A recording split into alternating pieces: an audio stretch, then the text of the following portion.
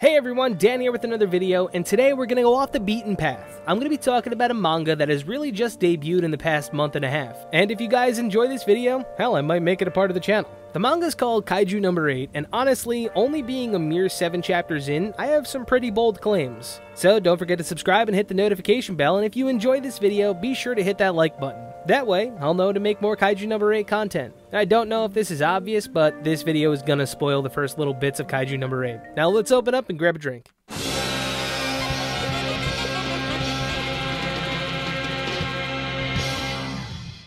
Ah, so, brand new series. It's uh, it's actually kind of weird to talk about something other than vigilantes. Frankly, I read most of the titles right now in Jump, and honestly, I thought at first I'd probably branch off into something like Attack on Titan or Chainsaw Man, but when I saw Kaiju number 8, I immediately clicked on it. For me, the main attraction to Kaiju number 8 was the fact that growing up, I loved Godzilla. I mean, even if it was Zilla in 2000, I always showed love to the King of Monsters. But yeah, I saw the cover and I was immediately entranced. I'm the type of guy that art direction will turn me off immediately. And to be quite honest with everyone, I didn't really like the art direction of My Hero Academia at first. But it grew to become one of my favorites. The major pull of My Hero Academia was the fact that I loved the concept of the story so much. I was able to embrace the art as it supplemented the story greatly. Kaiju number 8, on the other hand, it was fresh. It reminded me of the cartooniness that My Hero Academia provided, but then suddenly we're getting like, you know, Murata levels of detail. So the art style, like I said, to me, you know, it can turn me off, it could be a deal breaker, but the biggest deal breaker will always be the story.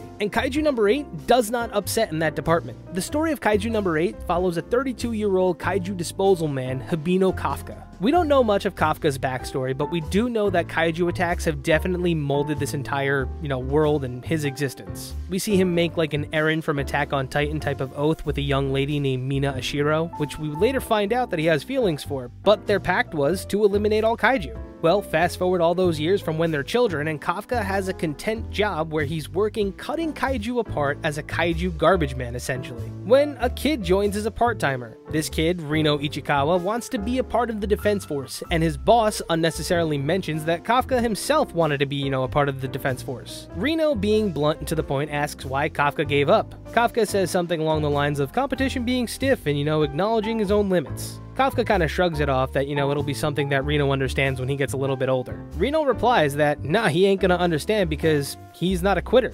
And I get it, Reno kind of comes off as an asshole right here, but he's actually pretty respectful when someone genuinely helps him understand something and becomes better from it. As the day progresses and Kafka teaches him about the anatomy of a kaiju, he starts to acknowledge Kafka as his superior. He recognizes now that he knows a ridiculous amount of information about a kaiju and their anatomy.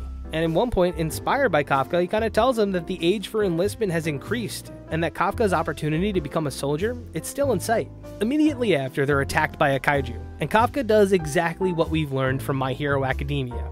What is the one thing that every hero has in common? They have the moment where their body moves without them even thinking. Kafka, rushing in, saves Reno, and as he's doing it, he's reminiscing about losing his family, his home, even, you know, not even saving the local cat. He screams for the boy to run, and he does. And as the kaiju moves in to kill Kafka, Reno returns and hits him in the face with a stop sign to get the attention of the kaiju after it strikes down Kafka. Kafka then has his big moment of change, where the metamorphosis before the actual metamorphosis occurs. The point where I would like to say that Kafka, you know, hits the lowest that he can possibly go, feeling so powerless and just seeing the memories of failing the Defense Force test, and he screams, and as he screams, Mina Ashiro snipes the kaiju, blowing its face off. They're rescued by the Defense Force, and in the hospital, Kafka and Reno are inside recovering. Kafka is staring off into space when the silence is broken by Reno. He says, without him, right now, right here, he would be dead. And honestly, he thinks that Kafka still has a chance, and that he should try to join the Defense Force. A shy Reno tries to put back on his gruff persona, but it's too late. His words have cut way too deep. Kafka is changed by his words, and he resolves to shoot for the Defense Force one last time. But before that could happen, suddenly a weird tiny kaiju floats in front of Kafka. It enters his body and transforms him into a crazy demon looking kaiju. Reno, after a hilarious confrontation, realizes that this kaiju is still Kafka, and they have to get out of there immediately. Which, mind you, this is an awesome character quirk here. Reno understands the crazy circumstances almost immediately, which to some would, you know, kind of come off as a weird coincidence, and maybe this whole, you know, person turning into a kaiju thing is known by more people than we think. But with that being said, with not much to go off of story wise, my main pitch to read this manga would have to be that the main character just feels like such a refreshing archetype. Every hero in Shonen Jump starts from zero, and somehow they figure out how to be the best, or achieve, like, you know, a huge goal, like, you know, getting One Piece or whatever that shit is. The thing is, Kafka is the definition of trying to end Act 1 of your life by skating in by the skin of your teeth. He's a 30 something trying to reclaim the dream that he had as a child by morphing it into his goal. Granted, Reno was a big source of inspiration. The kid came off as a character that was a total dick, but in the end, he becomes a huge fanboy of Kafka. And to be quite honest, I can see why Kafka gave up.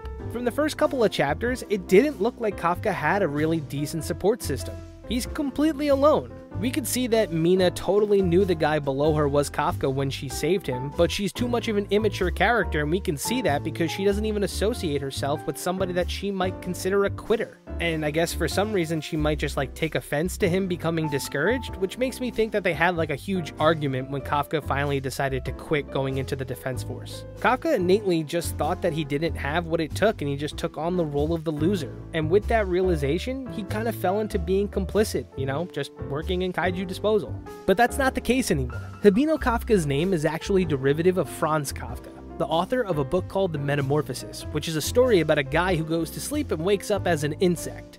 Essentially, it's a story that just kind of doesn't have a pleasant ending, and I'm not trying to give you guys, you know, an English lesson, but the author states that the theme of his story is that of responsibility, isolation, alienation, and sacrifice. All of which I can say in the first seven chapters, Kafka embodies.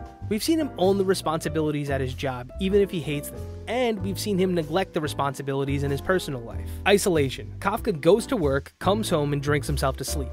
In turn, he's alienated anybody from becoming involved in his life by constantly becoming a focal point for random people's ridicule. Last but not least, sacrifice.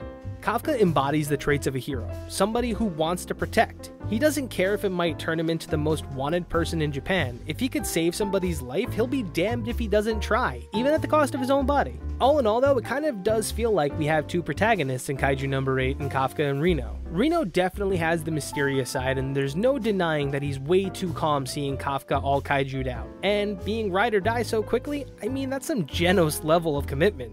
And frankly, when we see the prospects that they're up against, Reno is fairly below average compared to them. So it might be interesting to see if Reno has trouble getting into the defense force, and how he'll be able to deal with projection and success if both kinda come into play. It's two sides of the coin finally teaming up with one another, and I'm anxious to see how this duo succeeds in this crazy kaiju world. But yeah, like some of my friends have said, the generation of people that are really into manga now are in their 20s, and seeing older representation kinda makes me feel a little bit more comfortable getting older. I guess when I'm 50, Inuyashiki will probably hit different. I know Avatar will. I know, another Avatar reference. I'm gonna be spitting straight Iroh lines at the end, don't worry.